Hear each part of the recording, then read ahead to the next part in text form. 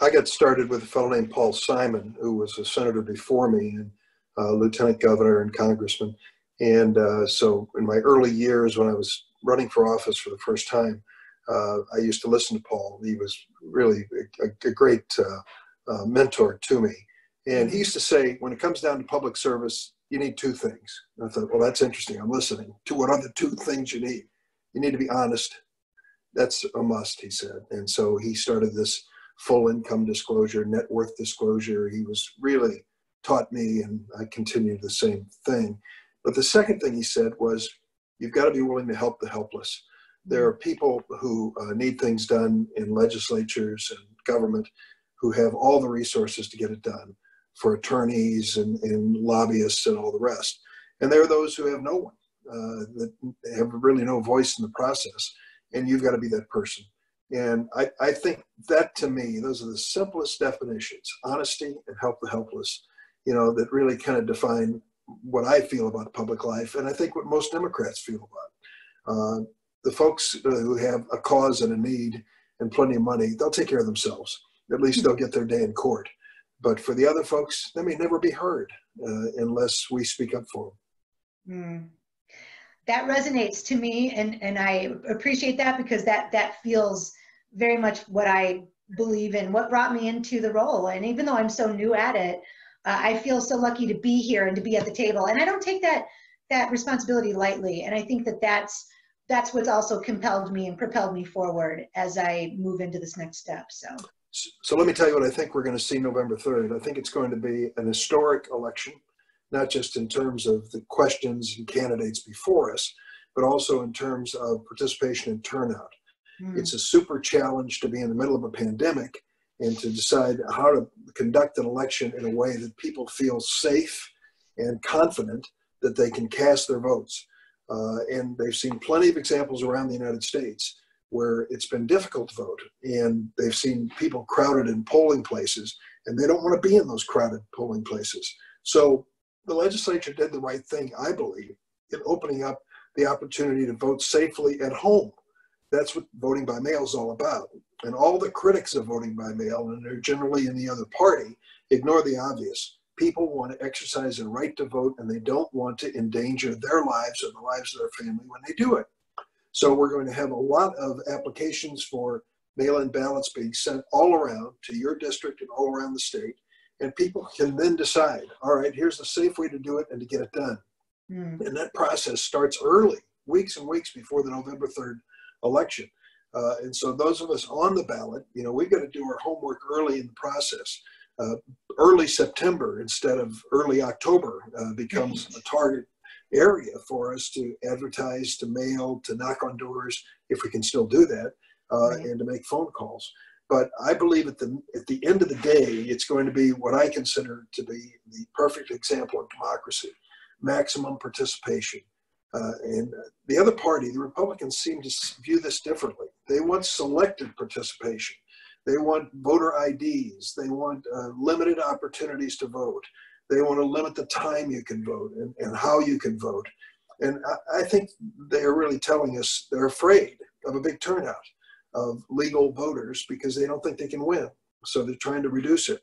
Well, you're probably in an area where there's going to be large voter participation. I imagine historically it has been uh, in your district. It may be even be greater in, in this cycle, in this election. But I like it. And I'll tell you what I think. I think the numbers, at least today, and we're still about four months out, but at least today, the numbers show uh, it growing support for the Democratic position, growing support for Joe Biden. Uh, in your district, there may be more support for the president. I don't know. You know the district better than I do. But I do believe there'll be ticket splitters and there'll be people looking uh, for new vo- voices and new faces. Mm. Yeah, I mean, I, I I think we've heard a lot of the same things, and I hope that that's true. Uh, I know we do have a little bit more of a split here just because it is a rural, largely rural area. And uh, of course, my opponent is, uh, like I said, a very strong Trump supporter. So, and he has a large, you know, there are people that still like him and uh, still follow him. So I, I'm eyes wide open in what to expect with this uh, this election. But I appreciate the emphasis on on voter participation and that that goal of wanting to make it a very safe process, we've worked the same way tirelessly, pushing out resources. In fact, we just updated the website. So now we have on the front page, mail-in ballot, links to both sites, straight to the page. Here in McHenry County, I was surprised. We have a Republican clerk, um, but it's actually now much easier to apply for the ballot than it was Good. the last cycle. So I'm happy about that. What do you think of the top issues in your district? What do you hear? Yeah, I think that um, the the top issues for us are healthcare is a big issue. People are really worried about that. The economy right now, um, I've had people reach out to me that are, you know, they still don't have their jobs back.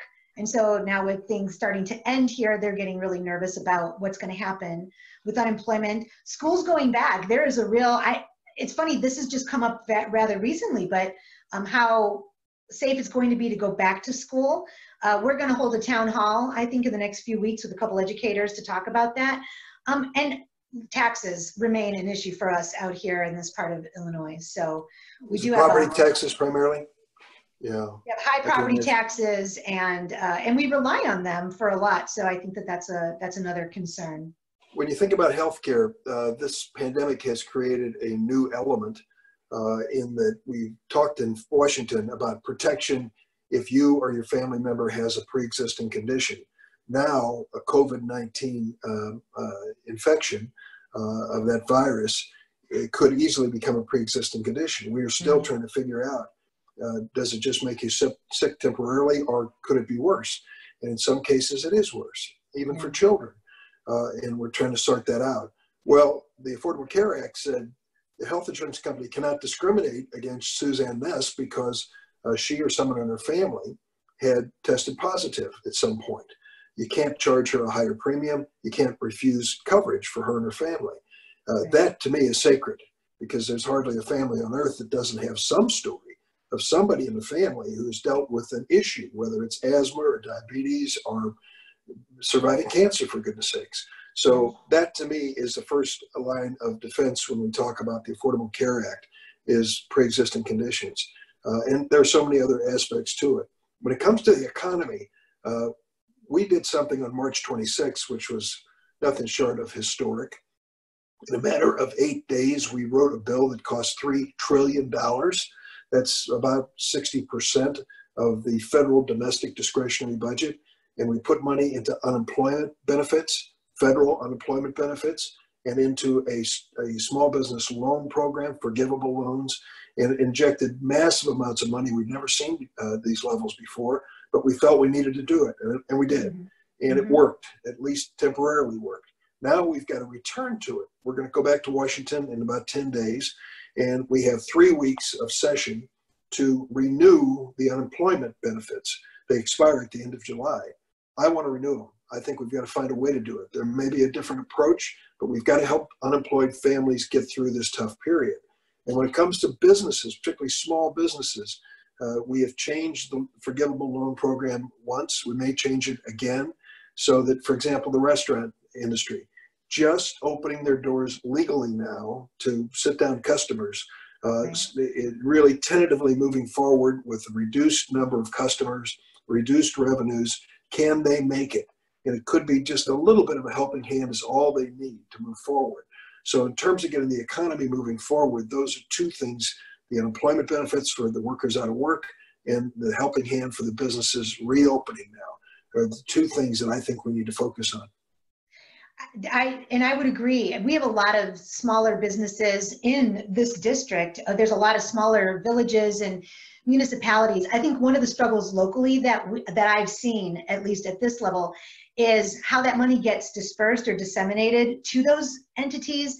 McHenry County did a couple of unique things about that, and we made we created actually a sustain a small business sustainability grant with some of our discretionary funds to be able to do that. Um, but the, the communication and getting that out in Kane County, that's not been the same thing. So I see the position I'm walking into as being that regional leadership to be able to bring some of those entities together so that they start to share that out because I think that's the big, exactly what you said. It's great that the federal government is doing these things and now we need boots on the ground here to get that to people that need it most and identifying them. So I, you know, I, I yeah, I'm, I'm happy to hear that. I think people will be happy to hear that uh, and know that you're working on that. The first round of forgivable small business loans, the big banks jumped in and they understood it. They had the applications and they had this wealth of clients and customers that they knew uh, what kind of businesses they had and what they might be needing money for. And so that was the first round was dominated by the larger and well-established businesses. Unfortunately, the smaller ones, the ones that were struggling, uh, didn't have similar advocacy when it came to the banking industry. So we had to do a kind of a second round, put more money in, and say now we're going to go to community banks and credit unions and uh, uh, consumer uh, advisory, uh, CDFI, consumer development, whatever, financial institutions. and we're, we're going to have them do counseling for small businesses so they can get in on this helping hand. And it worked. We still got about 130 billion left. We need it, as I mentioned earlier, for the extension of some of these loans. Uh, but we've got to make sure that we focus on the Main Street businesses that may have been passed over in the first round.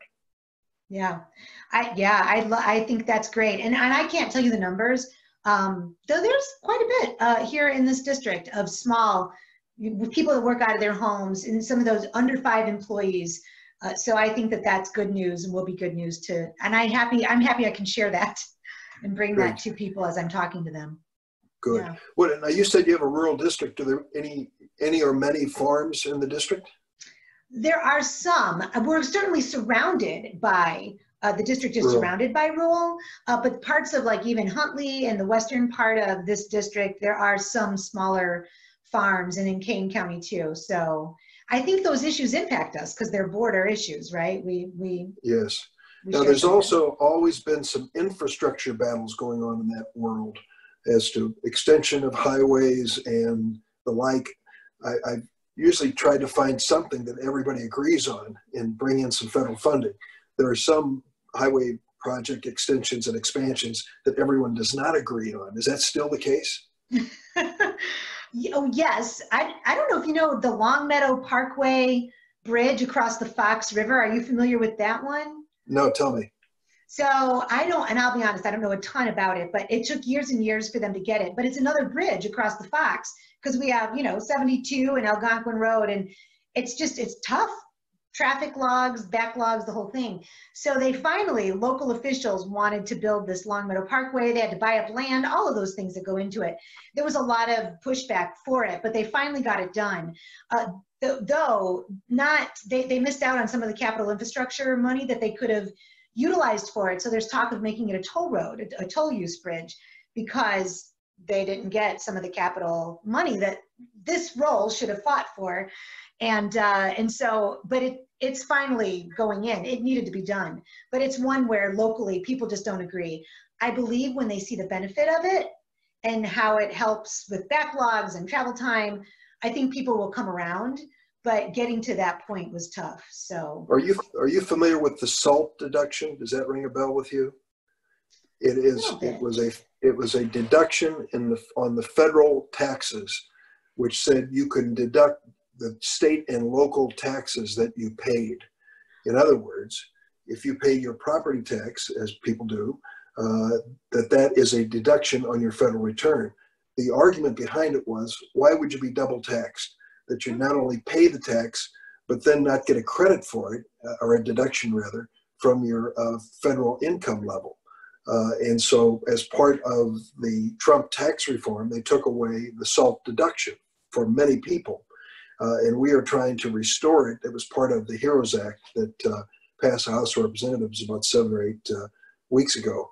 Uh, I, I, think it is reasonable to do that, and it really is an effort at the federal level to uh, lessen the tax burden so people don't get taxed twice, uh, pay the tax and then pay a tax on paid taxes. so that's one of the issues that's being debated in Washington as well. That would be great. That and the cap of the 10,000 property tax, you know, if you pay over that amount, you don't get the write-off for that. I know um, Representative Underwood's been working on that one and Sean Casten as well, because that's impacted this area quite a bit too. So those that's are, great. that's good news. That's great. we get that done. Yay. so tell, tell me, uh, as we wrap up here, tell me what campaigning is like in your district in the age of COVID-19? Yeah, well, you know, uh, initially it was um, a lot of going, and mobilizing into making sure people had access to resources. Uh, we did a few wellness calls, but everybody started doing those pretty early on. So I helped with things like delivering meals and making sure people knew, you know, where those were at. We changed, we made sure we had access to all of that on our website and social media outlets. Um, and then largely just we we sort of set back a little bit to see we weren't even meeting on our county uh, meetings and things like that. Um, but since we've really ramped up our reaching out through social media, through phone calls, through uh, Zoom calls like this, I've had a number of these Zoom calls and continue to have these.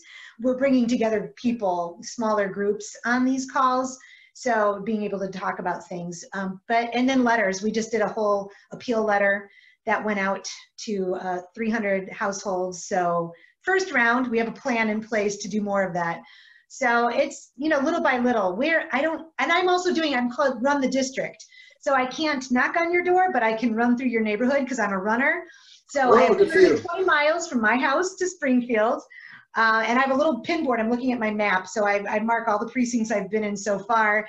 And people that we kind of let a few people know, they come out and wave and get people to put yard signs out again. So we're, we're having some fun that way. But um, yeah, those are the things we've been doing. Suzanne, I wish you the best. You'll be a terrific state representative. And, Thank uh, you so much. Thank you. look forward for to working with you. it. I look forward to it as well. Thank you, Senator. Have a wonderful day. You too. Bye-bye. Bye.